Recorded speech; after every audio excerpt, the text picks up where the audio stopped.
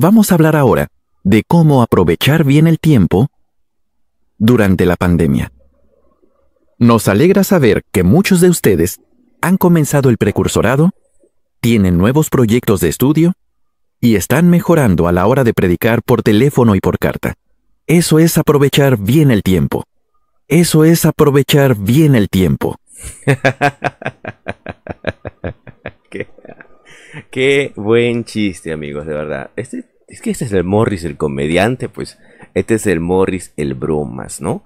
Una buena forma de poder aprovechar no sé, pues el tiempo en esta pandemia no es estudiar una carrera, ¿no? No es aprender nuevas cosas, ¿no? O lenguajes o idiomas. No, no, no, no, no. La mejor forma de poder aprovechar el tiempo, como dice aquí Morris, eso. Eso es la mejor forma de aprovechar el tiempo que tienes de ocio, ¿no? Como, como no has estudiado nada posiblemente. Entonces, Tienes que hacer precursorado, predicar 70 horas mensuales, llevando su propaganda a la JW. Proyectos de estudio, dice. Pero ojo, ojo, ese proyecto de estudios no se refiere a proyectos de estudios eh, profesionales, universitarios o institutos, ¿no? Proyectos de estudios bíblicos, estudios de sus literaturas, eso, a eso se refiere, ¿ok? Y propaganda a la JW mediante teléfono y carta. Esa es la mejor forma, según Tony. Eso es aprovechar bien el tiempo.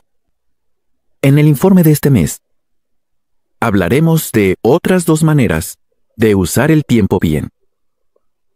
¿Cuál? Ayudar a los inactivos y aprender a leer y escribir mejor. Ahí está. Nuevas indicaciones, amigos. Nuevas indicaciones del cuerpo gobernante. Ahora tienen que ayudar a los inactivos. Ayudar. Muchos están yendo, muchos están escapando, muchos no están volviendo. Ustedes todos ustedes tráiganlo acá, tráiganlo, asústenlo con el tema del Armagedón, ¿no? Y también, pues, el tema de aprender a leer y escribir mejor. Aquí Tony dice, deben aprender a escribir mejor porque cuando entran a insultar se nota su mala ortografía. Es que de verdad, amigo, de verdad. Lamentablemente, eh, una gran cantidad de testigos de Jehová, y obviamente más los que están en las redes sociales, ellos tienen una mala ortografía.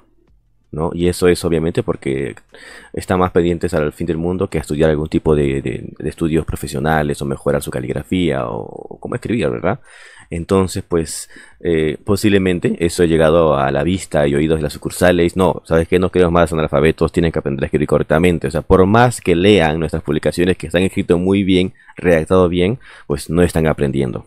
Ha sido muy bonito ver que muchos de nuestros hermanos y hermanas que estaban inactivos han vuelto a las reuniones y a predicar en la pandemia. Si ese es su caso, le aseguro que el cuerpo gobernante se alegra mucho por ello. Que el cuerpo gobernante se alegra mucho por ello. ¿Y que hay de los que no han vuelto todavía? Puede que se sientan como se expresó el salmista en Salmo 119, 176. He descarriado como una oveja perdida Ven en busca de tu siervo, porque no me he olvidado de tus mandamientos. Ahora mismo, puede que algunos inactivos le estén orando a Jehová diciendo, Búscame, ayúdame a volver. No se han olvidado de Jehová, pero por distintas razones no han sido capaces de volver por ellos mismos. Pero por distintas razones no han sido capaces de volver por ellos mismos. No, Morris. No. El inactivo, el inactivo no quiere volver por infinidad de motivos. Puede ser porque se peleó, se, está molesto con varios ancianos o ha visto injusticias. Pero también hay quienes no quieren volver porque se han dado cuenta de las verdades, de lo que ocultan, de lo que mienten, de lo que roban, de lo que sucede a nivel mundial y, y ellos se hacen de la vista gorda. Y esa es una gran cantidad. Si ellos hablan, si están utilizando este espacio para hablar acerca de los inactivos y que deban devolver es porque la cantidad ha crecido, ha aumentado. Es por eso, hay una preocupación, hay un déficit, hay un número que está bajando. Y esa cantidad de inactivos tenemos que recuperarlo como sea. Pero como no basta con sus publicaciones ni con sus videitos, porque tampoco lo están viendo ni leyendo, entonces van a utilizar a los testigos de a pie, a los amigos. Vuelve, regresa. ¿Y qué siente Jehová por ellos? Ezequiel 34, 15 y 16 dice, Yo mismo alimentaré a mis ovejas, a las perdidas buscaré, a las descarriadas traeré de vuelta, a las heridas vendaré, y a las débiles fortaleceré. ¿Puede usarlo Jehová para encontrar a sus ovejas perdidas? Claro que sí. Como Jehová dice, no, yo mismo los traeré a mis ovejas. Pero tú, Tony Morri, dice, no, ustedes tráiganlo. Ustedes, ¿no? Tráiganlo. Pero él confunde las cosas. Siento yo que él confunde las cosas porque ese texto podría aplicar a alguien que pierde la fe en Dios y que ya no quiere creer en Dios. Lo siento Dios, ya perdí mi fe en ti, no quiero estar contigo.